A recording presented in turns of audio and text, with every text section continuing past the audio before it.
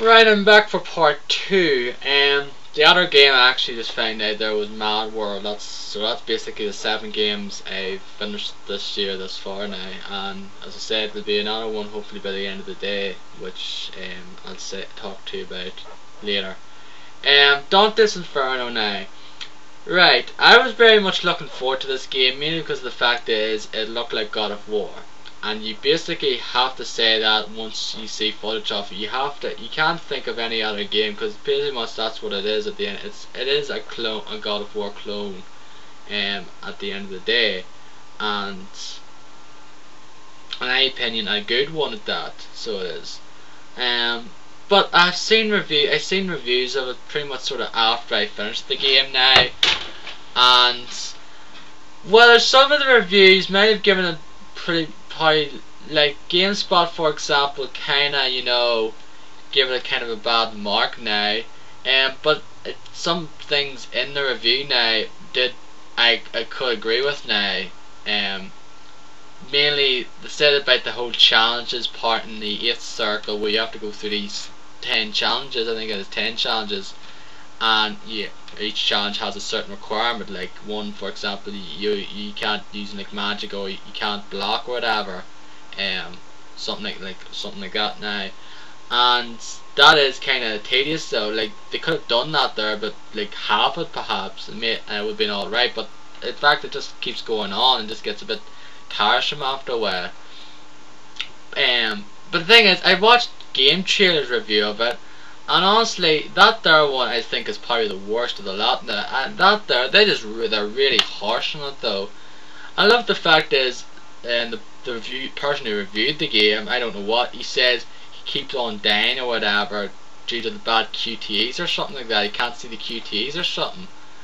I had no problem whatsoever with the QTEs in that game. No problem whatsoever. Mainly, I died because of falling a lot though, and um, due to maybe sort of by my own faults perhaps sometimes or just took a misstep whatever or just jumped and fell and didn't quite make the thing now.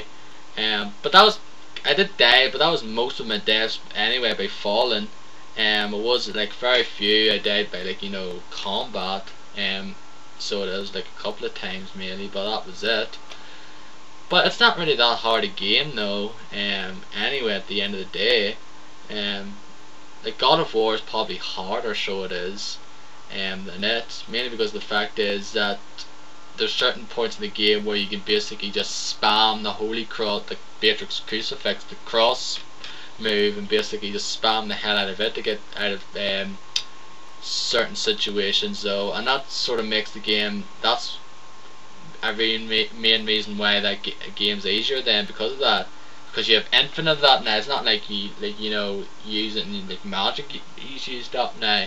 You just use it. You can use it to your heart's con to your heart's content, pretty much.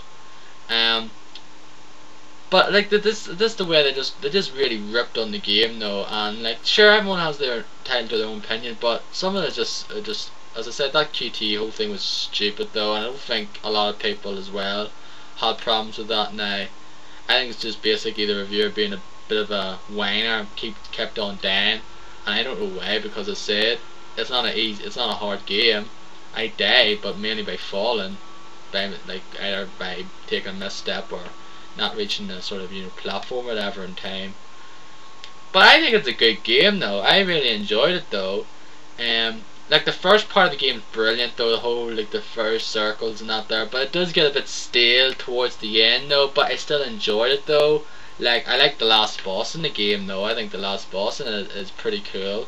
Um so I. Do but there is certain parts though mainly that those challenges are, are just tedious though but it's a good game though and I really enjoy it and I'm looking forward to the sequel because there is going to be a sequel um, since it is based on the like you know the Divine Comedy trilogy. Like there's of course there's Inferno, there's Purgatorio, and then there's going to be Paradiso, which I assume Purgatorio is going to be the next one then. So it'll probably be Dante's Purgatorio or something like that now. Um, along those lines. But I think it's a good game though, and I recommend you try it out now. Probably best renting it now, um, since just to make sure though, or try the demo at least and see what you and think of the demo at least anyway and see if it's um, right up your street. But if you liked God of War, then you should like this because it's pretty much a lot. It's pretty much similar, um, with a few differences. Um, another game that came out this month that I know a lot of people are looking forward to is Bioshock 2. And um, I, as I said, I the last video I actually did now was about Bioshock 2 Special Edition unboxing now, which a lot of people want a whole lot of people, but a few people watch now. Um, and I haven't finished it. And I don't know why though, but I did play good a bit of it though. But the thing is though, it's just something inside me doesn't want to play that game for just some reason. I don't know what. It's just I just don't feel like playing that game whatsoever. Like I I put it in, then played it for a couple of minutes, and just and then just something inside me just says, I don't really want to play this. I don't know what the hell it is. Maybe because I'm probably bored of it already, or something along those lines. Or maybe because the fact is there's certain games coming out that I kind of want to play more, but could just play it. Like games out this week that I know a lot of people are looking forward to get play are playing at the moment. Some of them are finished, and I'm getting it tomorrow. Hopefully, is Heavy Rain, which looks brilliant um, and I'm really looking forward to playing it now. And in a, in a few weeks' time, there's going to be Final Fantasy 13, and then there's going to be God of War 3, and there's ones like Yakuza 3 and things like that now. And it is just going to be a busy few months, busy month um, ahead, so, is, so it is for a lot of people, certainly myself included. So but maybe I might go back into it though sometime when there's like, you know, a, a bit of a drought. Because there is other games I'm kind of playing now at the moment. One of them being A Boy and His Blob, which I got there, um, I think last December I believe, or start of January, and really, really like it. It's a very, just a simple game that you just can play no problem and just have a lot of fun with at the end of the day. It's, a, it's just not one of those games like you pull your heart out of frustration now. And it just has a really nice art style to it now, I just like the way it looks though, and just a really cutesy wee puzzle platforming game pretty much. So it's kind of a platforming game with puzzle elements though anyway at the end of the day. Basically just trying to find how to get to the treasure box, treasure chests in each level though. But it's, a really cute game though, and I really like it. Um, I said I traded in a few games to get Bioshock 2, which I did now. And there's a bunch of games as well where I traded in recently there to get a few more games. Mainly ones I just I was not going to bother playing anymore to tell the truth anyway. Like I traded in like I think it was seven games the other day Tuesday there and I got them um, Darksiders which I rented before but I, I just might as well bought it, it though because I liked them I liked it enough to buy it now it was only £30 now and um, Tatsunoko versus Capcom Ultimate All Stars on the way because that was a game I kind of wanted to get as well which is pretty cool I really like that game as well the ones I trade in were um, the seven games I trade in were Gears of War the Collector's Edition the first one um, Dragon Ball Z Burst Limit, which was a good game, but I'm pretty much done with it because I completed the Chronicles mode and I never touched online in it, but I don't think I would have bothered. Um, Star Wars Force Unleashed.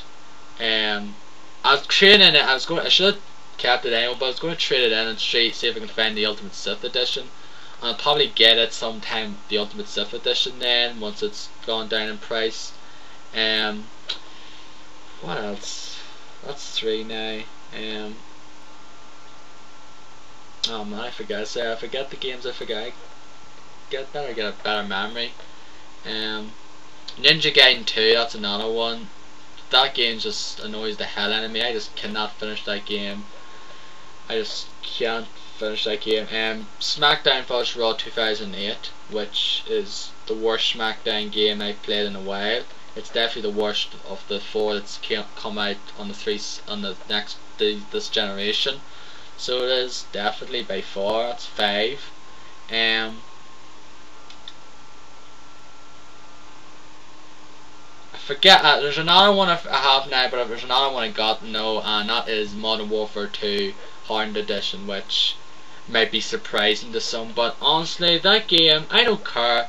Like, it's not really because of the glitches though. Like, there's probably sometimes that maybe had a match or so, but like I never played that. I haven't played that game since like December, and there was no way I was going to go back into it though because I heard of all these problems the game's been having with all these glitches that people keep exploiting and things like that. And so why would I go back into playing the game like that where you can't really enjoy it anyway? Besides, I think the game's unbalanced as hell, um, even without the glitches. But I'll maybe talk a bit more about that in the third part, so stay tuned.